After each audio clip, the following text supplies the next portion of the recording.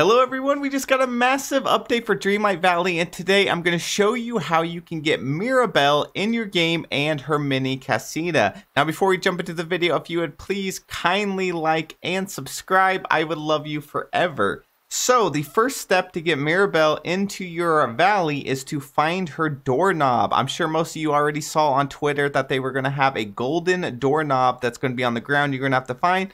Well, that is available right now and we can actually start searching for it. So it is going to be over here in the Peaceful Meadow. So the golden doorknob is only going to be in this section here. So I am actually going to go look for it now. It should be fairly obvious and I would think that they spawn it in an area that I don't have a lot of stuff.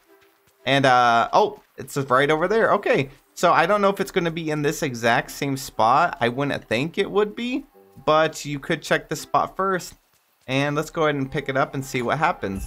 So it says you found a strange artifact glowing with magical energy. Bring the golden doorknob to Merlin. And uh, there he is. All right, let's see what he has to say. So golden doorknob, give it to him.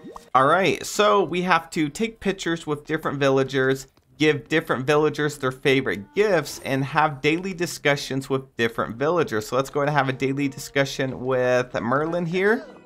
And then I'm to go ahead and finish up all this stuff and we'll see what we need to do next. After you complete that, you're to have to talk to Merlin and then he's to tell you he needs Dreamlight. So go and talk to him and you're to have to have 500 Dreamlight to give him. If you don't know how to get Dreamlight, you can just do the little like Dreamlight duties. They're super easy and quick to do and it'll get you a lot really fast. Once you finish that, you just have to place the mini casita in the village. It says it's mini, but it's actually pretty big. So go into your inventory right here, your furniture tab, click on Merlin, and then click on the mini casita. And look how amazing that looks. And welcome Mirabel. So that is how you get Mirabel to your island.